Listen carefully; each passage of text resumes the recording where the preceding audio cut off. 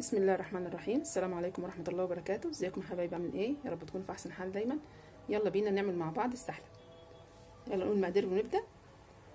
معانا كوباية دقيق رز كوباية نشا كوباية سكر بودرة نص كوباية سوداني نص كوباية سمسم ونص كوباية كريم شانتيه ونص كوباية جوز هند لو عايزينه بالفانيليا هنحط اتنين باكو فانيليا.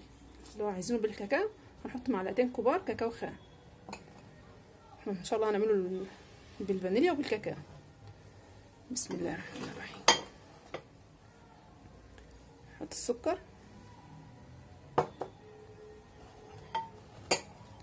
والنشا. ودقيق الرز. دقيق الرز ممكن تغسلي رز وتنشفيه. وتطحنيه. بس تأكدي إن أنت نشفتيه كويس. وممكن تشتريه نحط السوداني المجروش محمص ومجروش بس مش مملح والسمسم.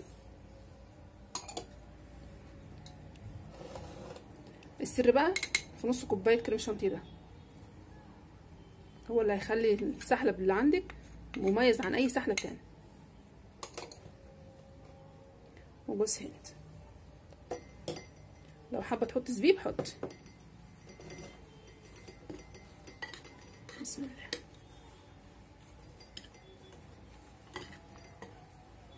هنقلب كل المكونات مع بعض كده.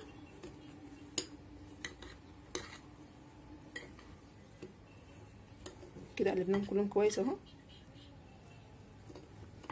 لو حابة تحطي لبن بودرة حطي. بس أنا هكتفي بالكريم شانتيه ولما أجي أعمله مشروب هعمله بلبن. هنجيب بقى طبق عشان هنقسم الكمية. نعمل نصها بالكاكاو ونصها بالفانيليا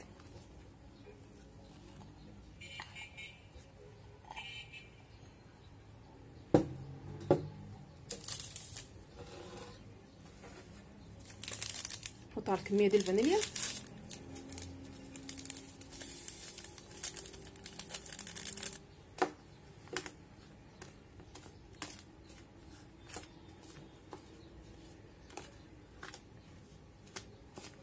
قلبنا الفانيليا كويس مع كل المكونات اهي.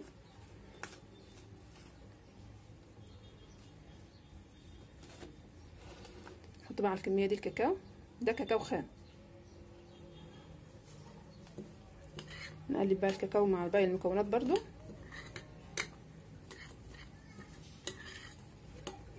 لو انت اللي طحنه الرز لازم تتأكدي ان انت جففتيه كويس. تغسليه وتجففيه. وتطحنيه وتنزليه من مصفى ناعمه كده برضو تقلب معانا اهو تسحلب بالكاكاو نجيب بقى البرطمانات.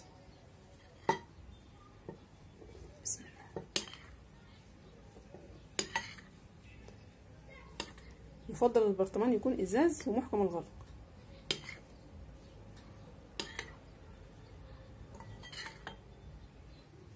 دي كمية السحلب اللي بالكاكاو. نقفل عليها كده. ونعبي برضو السحلب اللي بالفانيليا. بسم الله.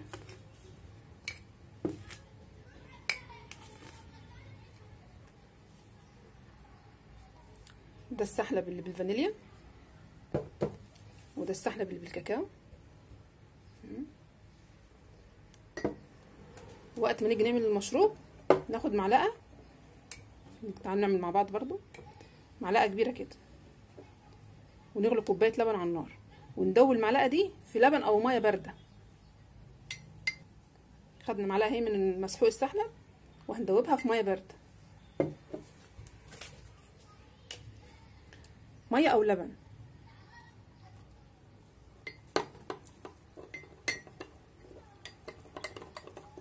معانا لبن بيغلي على النار.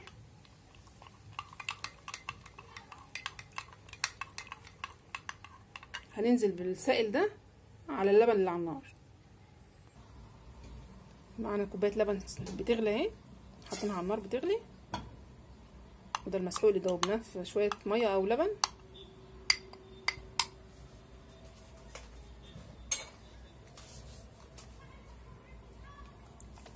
ننزل ونقلب. لو نزلت بالمسحوق زي ما هو كده من غير ما تدوبيه هيكتل معاكي. هنسيبه يرجع يغلي تاني كده. كده السحلب جاهز معانا. يلا نقدم مع بعض. نجيب بقى مج بناس كده.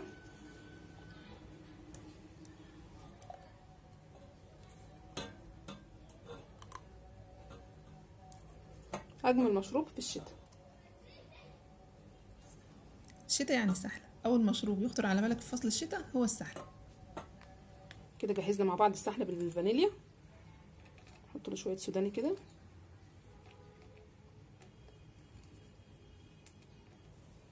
بالهنا والشفا. نعمل السحلب اللي بالكاكاو كمان.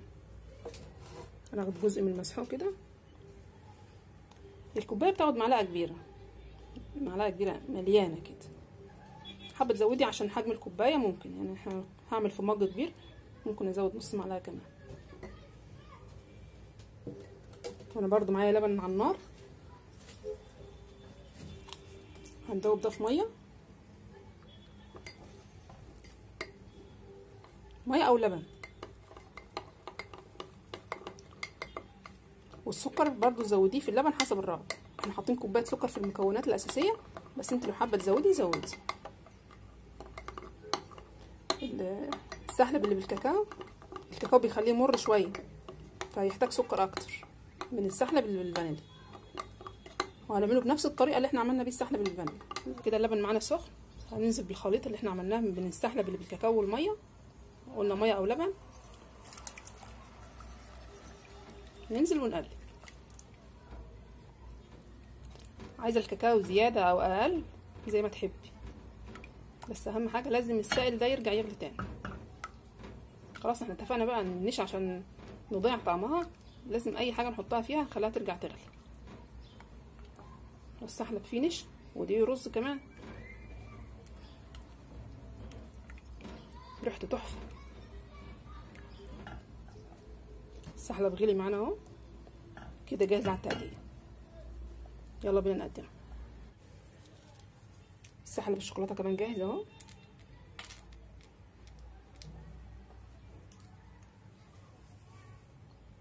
بألف أنا وشفا